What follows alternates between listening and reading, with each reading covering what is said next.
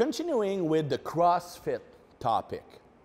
Now, I've worked with athletes from 28 different sports. I've worked with, I'm probably the only coach who has worked with CrossFit Games competitors and Mr. Olympia competitors. So, so that's, I have a pretty unique perspective because I know the difference between all of these athletes, the way they train, the way they think, and all that stuff. Now, CrossFit oftentimes gets a bad rap, especially from bodybuilders. Powerlifters are starting to accept it a bit more because powerlifters are performance based and they respect anybody who does training to improve their performance, especially barbell lifting performance. And they know that CrossFit athletes value the deadlift, they value the squat, they value to some extent form of pressing.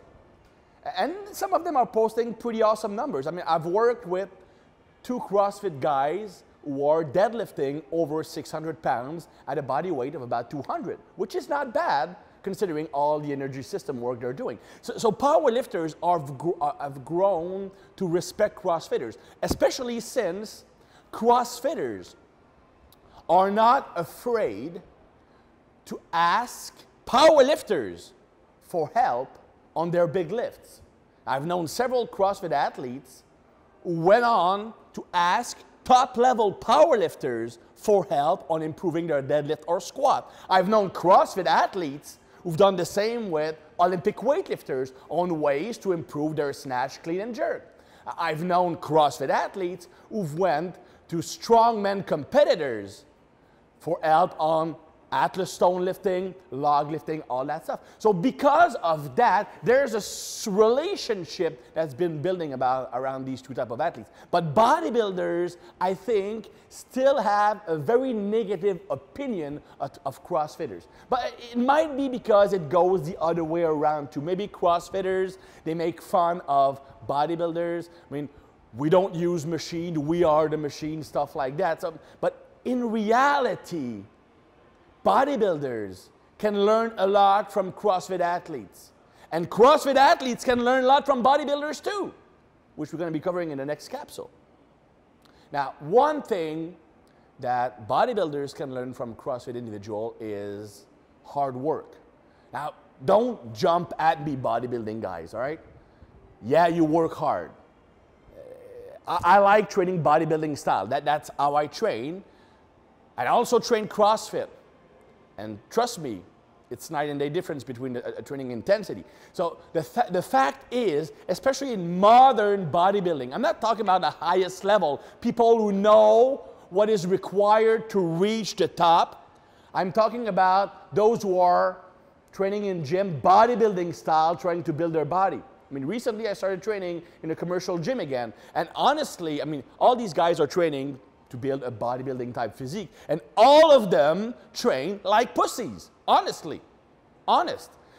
Maybe 5% of them train hard enough to establish some form of progression muscle wise. If there's one thing they can learn from CrossFit individual is training hard, training balls out. In fact, oftentimes CrossFit athletes train too hard, but that's another topic.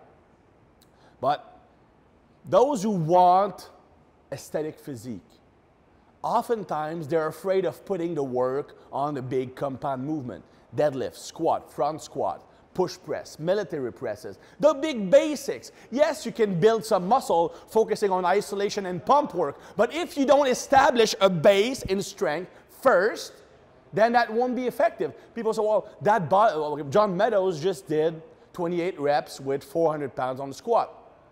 So I'm going to do sets of 20 on squats. Yeah, but you're using 95 pounds. He's using 400 because he has the basics of strength. My friend Paul Carter, great physique, trains more for pump now. But for most of his career, he built his size and strength through powerlifting, hardcore, heavy lifting. So CrossFit athletes are looking more toward those big compound movement and trying to get better at them. So the first thing that bodybuilders can learn from CrossFit individual is training all out, making amazing effort. Second thing is focusing on quality.